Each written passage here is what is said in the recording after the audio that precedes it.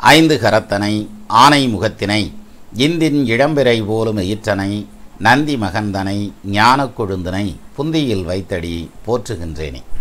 வணக்கம். நம்ம ஜோதிட சொந்தங்கள் எல்லாத்துக்கும் வணக்கம்.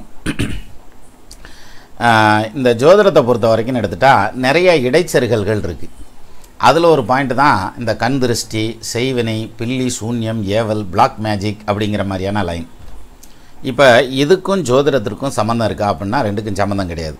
அது வேற இது வேற.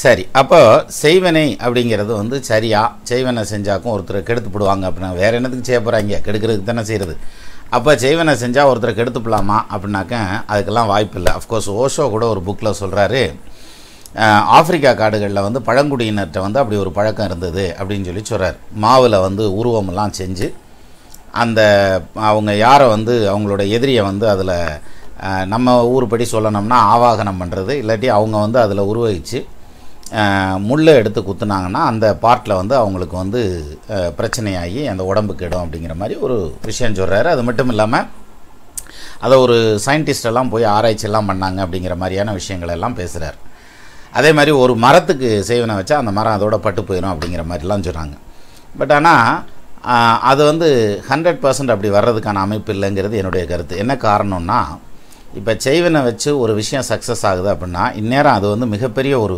விஷயமாக உருவெடுத்திருக்கும். ரெண்டாவது உலகத்தில் யாருமே இருக்க முடியாது. ஒருத்தனுக்கு ஒருத்தன் நீ செய்வனை வச்சு எல்லாம் செத்து போயிடுவான் செத்து சுண்ணாம்பு போயிடுவாங்க அப்போ இது அப்படி கிடையாது. ஆனால் இந்த செய்வனை பிளாக் மேஜிக் அப்படிங்கிறது எந்த விதத்தில் அப்படின்னாக்கா நமக்கான ஒரு மனப்பிறழ்வு அதாவது பயம் வந்துரும்னு சொல்லுவோம் இல்லையா? அது மாதிரியான விஷயந்தான் அதில் பாதிக்கிறதுக்கான காரணம். ஆனால் இது வேற. இந்த கண் திருஷ்டின்னு சொல்கிறாங்க இல்லையா? அது வேற. அது தனி. இது தனி. இப்போ ரெண்டையும் வேறுபடுத்துறதுங்கிறது எப்படி வேறுபடுத்துறதுன்னு பாருங்கள் இந்த செய்வனை பிளாக் மேஜிக் அப்படிங்கிறது அவங்க காசு பணம் ஏதாவது செலவு பண்ணி இன்னொருத்தவங்களை வந்து பாதிக்கணும் எதிரி வந்து பாதிக்கணும் அப்படிங்கிறதுக்காக ஒரு முயற்சி எடுக்கிறாங்க.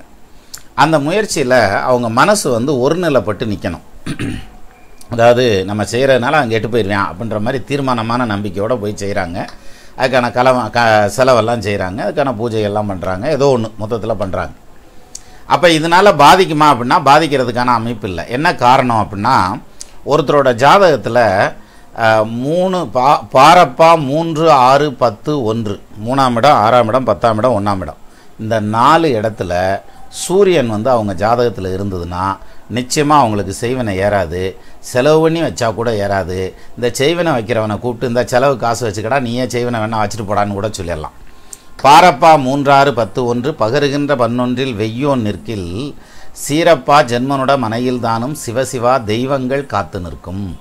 வாரப்பா வாகனமும் ஞானம் புந்தி வளமான புத்திரர்கள் அரசர் நேசம் கூரப்பா உரிவனடா சத்ருபங்கன் கொற்றவனே புலிப்பானி சாற்றினேனேன்னு ஒரு கவி உண்டு. அப்போது இந்த பாரப்பா மூன்று ஆறு பத்து ஒன்று பகருகின்ற பன்னொன்றில் இந்த இடங்களில் மூணு ஆறு பத்து ஒன்று பதினொன்றாம் இடம். இந்த அஞ்சு இடங்களில் எந்த இடத்துல சூரியன் இருந்தாலும் ஒருத்தருடைய ஜாதகத்தில் அவங்களுக்கு பில்லி சூனியம் செய்வினை ஏவல் பிளாக் மேஜிக் எதுவும் ஏறாது. சரிதானா? அவங்களுக்கு வந்து அந்த தெய்வ பலம் அப்படிங்கிறதே அவங்க வீட்லேயே இருக்கும். சரி. இது வந்து சேவினையை பொறுத்த வரைக்கும். அப்போ இதில் சூரியன் இல்லை அப்படின்னா அவங்களுக்கெல்லாம் மற்றவங்களுக்கெல்லாம் ஏறுமா அப்படின்னா நம்ம பயப்பட்டாத்தையும் ஏறும். இல்லாட்டினா நம்ம பயப்படலைங்கிற பட்சத்தில் ஏறாது. அது வாட்டுக்கு தைரியமாக இருக்கலாம்.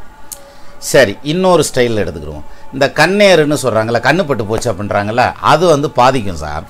அது எப்படி பாதிக்கும் அப்படின்னா ஒருத்தர் வந்து இன்னொருத்தரை பார்த்து பொறாமப்பட்டுத்தான் கண் வைக்கணுன்றது இல்லை இப்போ சிலர் வந்து பார்த்திங்கன்னா நியாயமான முறையில் நல்லபடியாக சம்பாரித்து ஒரு சொத்து பத்து சேர்ப்பான் ஒரு வண்டி வாகனம் வாங்கி ஓட்டிகிட்டு போவேன் ஒரு பேர் புகழ சம்பாரிச்சிருப்பான் அப்படி ஏதாவது ஒன்றில் மேலே வர்றாங்கன்னு வச்சுங்க இதில் பொருளாதாரம் புகழ் சொத்து பத்து அதிகாரம் இந்த மாதிரியான விஷயங்களில் மேலே வர்றாங்கன்னு வச்சுக்கோங்களேன்.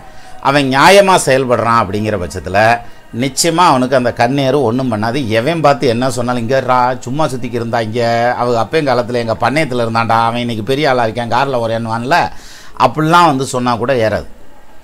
ஆனால் இவன் சம்பாரித்து அந்த சொத்து சேர்க்கறதாகட்டும் அல்லது ஒரு காரில் போகிறதாகட்டும் அல்லது ஒரு புகழ் சேர்க்கறதாகட்டும் இந்த மாதிரியான விஷயங்களில் தவறான வழியில் அந்த ஏர்னிங் இருந்ததுன்னு வச்சுக்கோங்களேன் நிச்சயமாக அவங்கள பாதிக்கும் சார். அதுக்கு நமக்கு செய்வினை பில்லி சூன்யம் கண்ணேரெல்லாம் போக வேண்டியதில்லை. திருக்குறளுக்கு போனாலே போதும். தாடிக்கார் பிரமாதமாக சொல்லியிருக்காரு.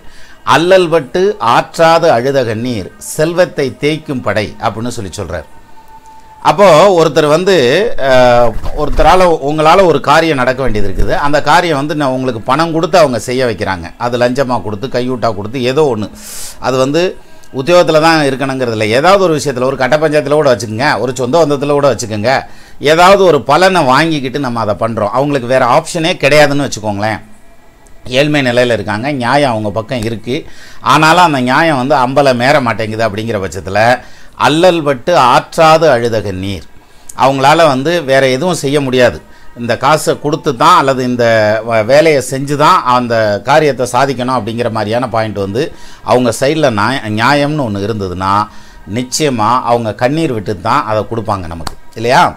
அப்படி ஒரு சம்பாத்தியத்தை சம்பாரித்து அந்த சொத்தையோ புகழையோ பேரையோ அந்தஸ்தையோ கௌரவத்தையோ சம்பாரிச்சிருந்தான்னா நிச்சயமாக அந்த இடத்துல அவனுக்கு பாதிக்கும்.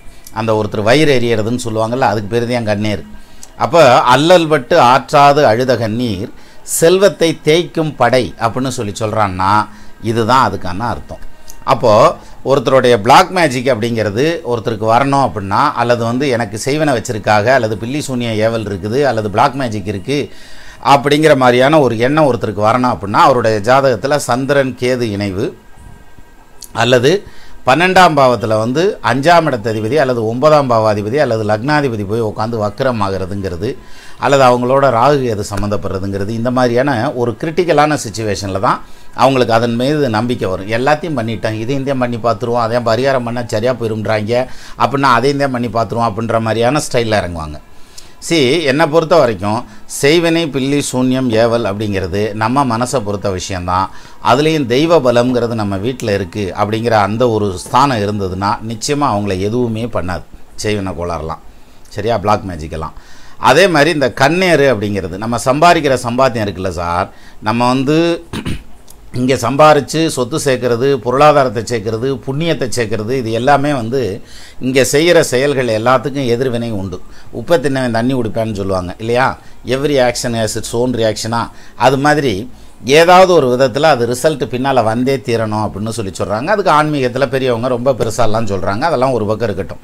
அப்போது நேர்மையான வழியில் சம்பாதிச்சு ஒருத்தன் அதை வந்து புகழ் பொருள் பணம் பதவி அந்தஸ்து கௌரவம். இது எல்லாத்தையும் நேர்மையான வழியில் ஒருத்தன் சம்பாரிச்சான்னா அவனை பார்த்து எத்தனை வய கண்ணு வச்சாலும் ஒன்றும் செய்யாது அவன் பாட்டுக்கு ஜம்முன்னு போயிட்டுருப்பான் அவன் ட்ராக்கை பிடிச்சி. அதே இது ஒருத்தருடைய மனசை கஷ்டப்படுத்தி அவங்களுடைய கண்ணீரோட அந்த சம்பாத்தியம் வந்துருந்துச்சுன்னா நிச்சயமாக அது அவங்கள பாதிக்கும். அவங்களுக்கு தான் இந்த கண்ணேறு பாதிக்கிறது செய்வினை பில்லி சூன்யம்ங்கிற பாயிண்ட்டுக்கெல்லாம் போகலாம் மற்றபடி நமக்கு வந்து செய்வனை வச்சு ஒருத்தர் வந்து இன்னொருத்தரை கெடுத்துறனா அப்படின்னா அன்னு எழுதின எழுத்தை ஆண்டவன் அழிச்சு எழுத மாட்டான்னு சொல்லுவாங்க. ஒருத்தரோட தலையெழுத்தை மாற்றக்கூடிய அமைப்பு இறை வ- இறைவன்கிட்ட இல்லை. சரியா? பிரம்மா அண்ணன் எழுதுன எழுத்த அழிச்சு எழுத மாட்டாருன்னு சொல்லுவாங்க. அப்போ ஒரு மனுஷன் எங்கே போய் மாற்றி எழுதுறது? அதுக்கு ஒரே ஒரு வழி தலையெழுத்து மாறணுமா மாறணும்னா செயல்வட்டடிந்தது செந்தூர் வயற்பொழில் தேன்கடம்பின் மால்வட்டழிந்தது பூங்கொடியார் மென்மனம் மாமயிலோன் வேல்வட்டழிந்தது வேலையின் ஜூரனும் வெறுப்பும் அவன் கால்வட்டழிந்தது இங்கு என் தலைமையில என் கையெழுத்தே. முருகப்பெருமானுடைய திருவடி நம்ம தலையில் பட்டுச்சுன்னா நிச்சயமாக நம்ம தலையெழுத்து மாறும் அப்படின்னு அருணகிரிநாதர் சொல்கிறார் அதனால் இந்த செய்வினை பில்லி சூன்யம் ஏவல் கண்ணேறு இது எல்லாத்தையும் புறந்தள்ளிட்டு வாழ்க்கையை முன்னோக்கி நகர்த்தினா வெற்றி நிச்சயம் அப்படின்னு எடுத்துக்கலாம். நமது நண்பர்கள் ஆள் போல் தழைதழைத்து அருகது போல் வேரூன்றி மூங்கில் போல் கிளைகிழைத்து முதியாமல் வாழ்ந்திருக்க வாழ்கவென வாழ்த்தி அமைகிறேன். வணக்கம்.